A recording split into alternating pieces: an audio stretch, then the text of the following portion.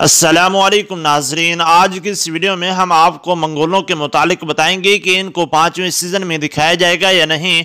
इसके अलावा तकफुर वैनस यानी तकफुर मोजलून के मुतालिक भी बात करेंगे कि तकफुर मोजलून को पाँचवें सीज़न में दिखाया जाएगा या नहीं।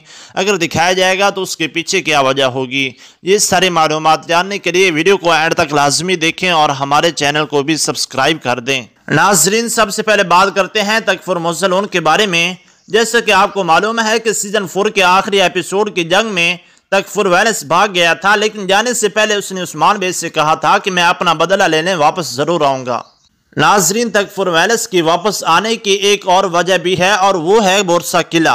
नाजरीन, जैसा कि आपको मालूम है कि उस्मान बे का अगला हदफ बोरसा किला है, यानी उस्मान बे बोरसा किला फतह करना चाहते हैं। और सबसे मेन वजह यह है कि बोरसा किला की मलकियत तकफुर मोजलोन के हाथ में है। इससे यही जहर होता है कि तकफुर मोजलोन की वापसी हर हाल में होगी। नाजरीन, अब आखिरी में मंगोलों के मुतालिक बात करते हैं। नाइमान ने मरने से पहले अपने चंद कमानदारों का नाम लेकर उस्मान बेस से कहा था कि वो मेरा बदला लेने ज़रूर आएँगे। इस बात से यही ज़ाहिर होता है कि पाँचवें सीज़न में मंगोलों की एंट्री होगी। नाजरीन, इसके अलावा तकफुर मोजलोन और मंगोलों के मुतालिक आपकी क्या राय है? अपनी राय कमेंट में लाजमी बताएँ।